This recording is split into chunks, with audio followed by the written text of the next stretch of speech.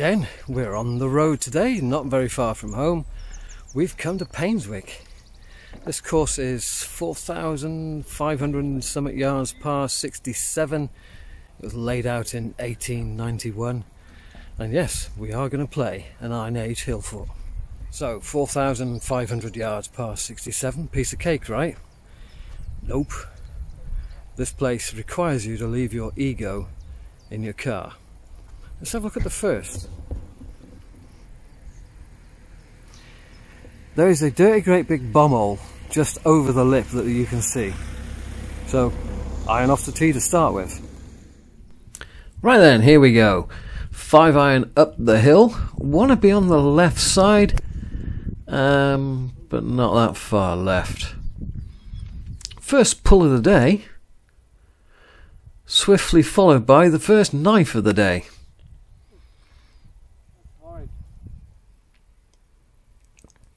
Simple chip, although I make a bit of a Horlicks of this.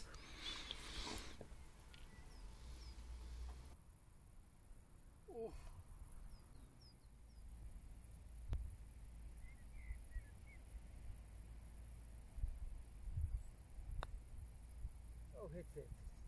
That's much. That is very slow.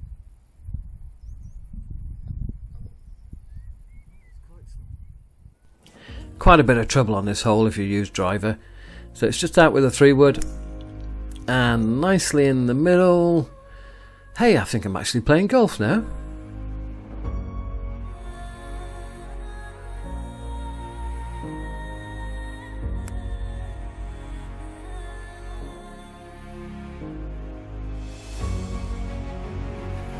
Well, Painswick is known as an inland links golf course.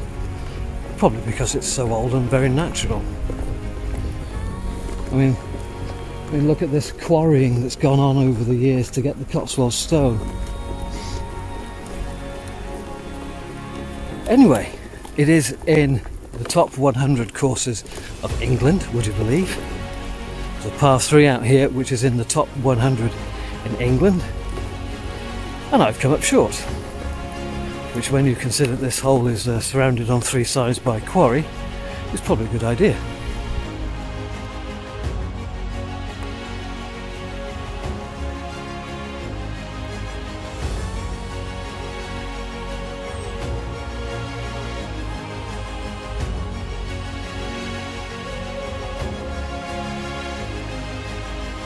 Third hole, not very long, you can't miss left, you can't go in the quarry in front of you, but I can reach it with the driver.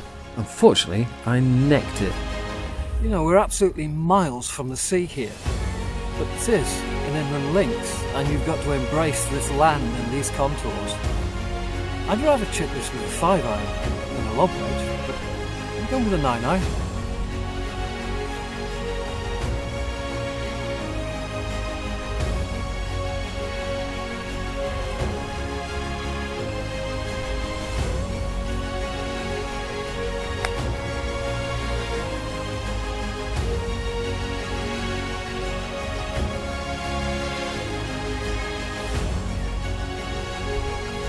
Doubt I would have got a 60 that close.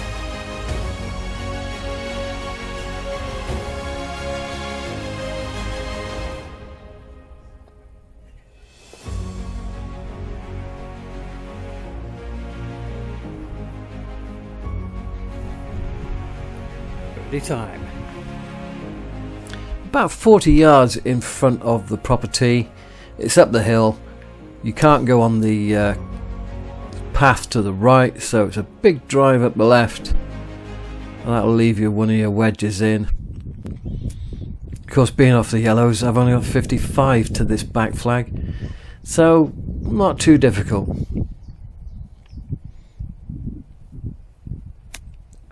I just overhit this a tiny amount. And I'm on the downslope here ball in the rough, and I just go with a bunt with the putter. And a straightforward par.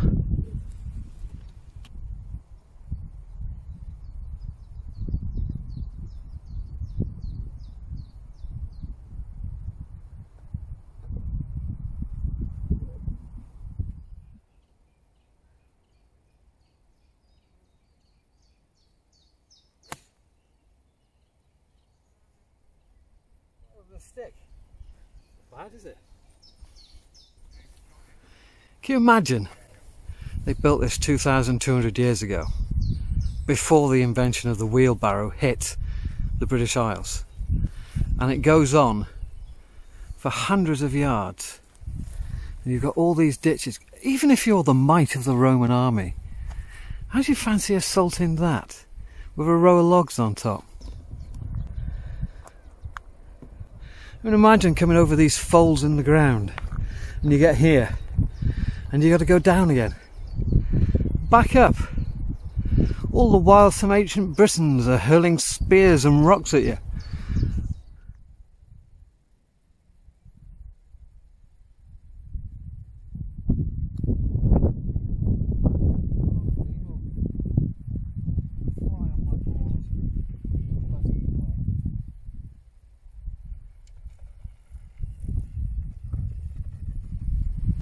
So this is our top 100 par 3 and is a brute when the wind is blowing.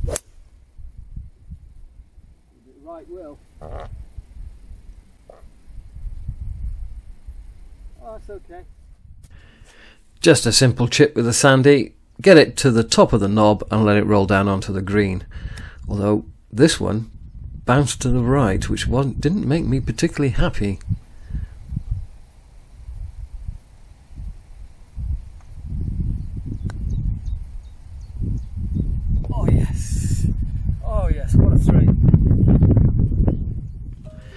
Downhill the green slopes away from you so the the idea is to get it to the far end of the green and then put back um, and not block it out to the right and leave yourself an impossible chip. I just used a 9 iron here and a 9 iron?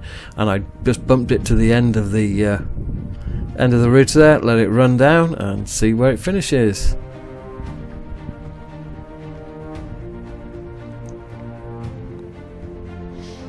And that's a damn good par.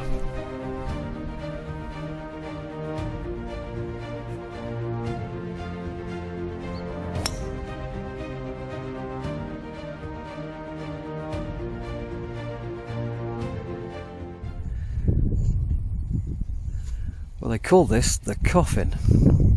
I suppose because you're dead and buried if you go in it.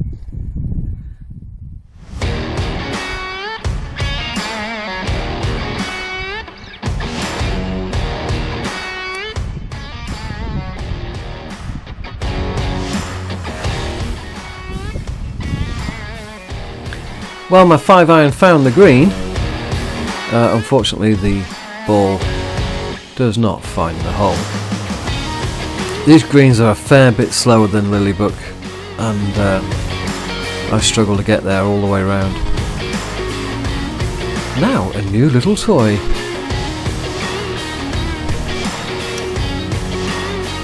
Not sure that looks any good, especially after a big pull. Right, four iron, down the shaft, shut face, three quarter swing, gotta hit a low hook.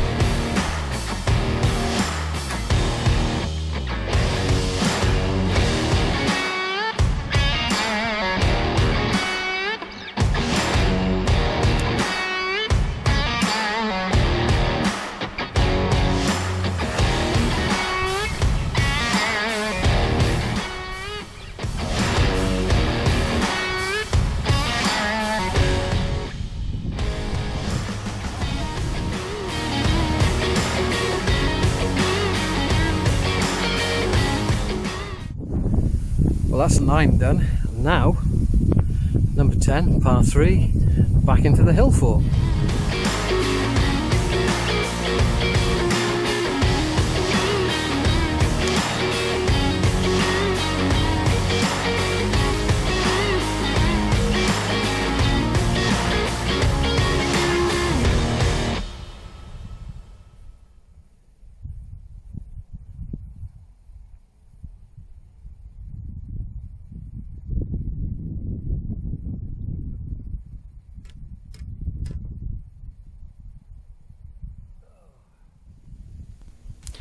Well, I'm supposed to be hitting just over the top of that hill to the right of that saddle.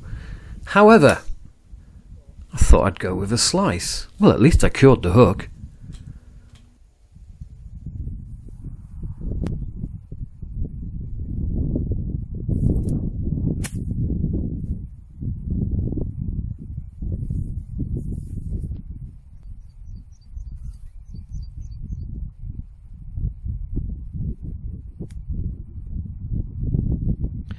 Another boring run-of-the-mill par.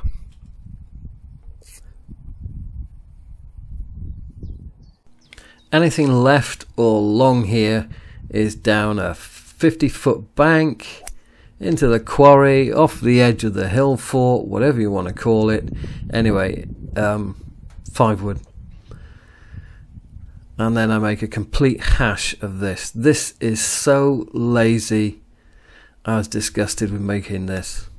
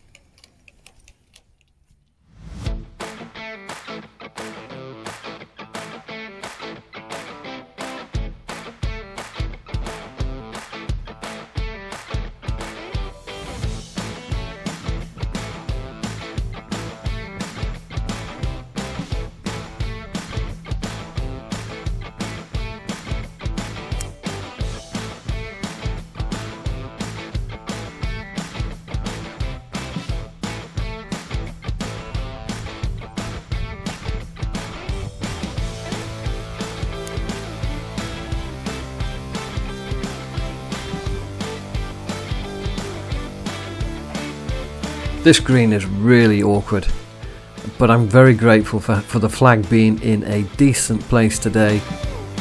I'll take a par here any day of the week.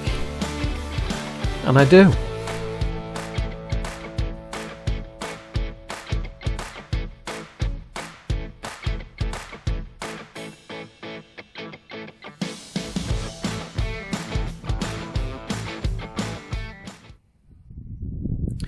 This hole is an easy birdie. Unless, of course, you pull it about 60 yards left of the green. That shot tracer isn't quite right. My pull is considerably left of where that shot tracer finished.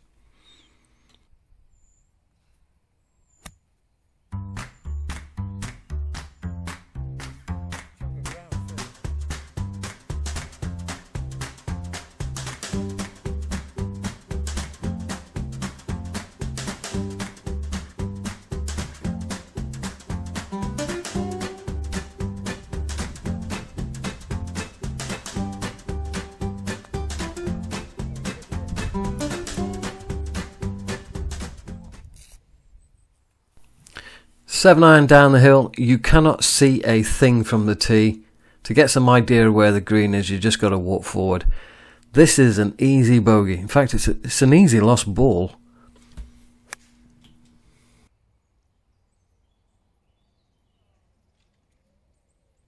Right direction, it's just a bit clunky.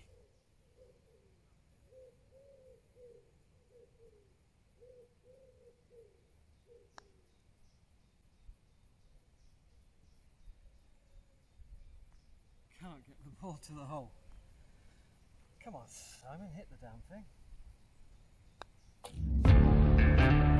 16. Another hole I can drive, if only I can hit it straight or a tiny fade and... Oh boy, slap the ground. Well left again. 50 yards left again. I am missing out on the birdies today.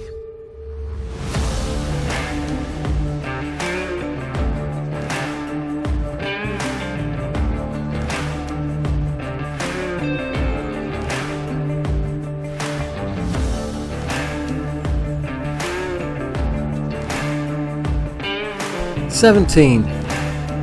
Now it looks wide enough, but actually it gets very narrow in the driving area.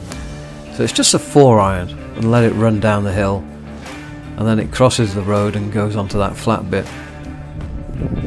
Leaves me about 144, so there isn't really much point in taking the driver and, and challenging the corner of the cemetery. Be dead and buried over there.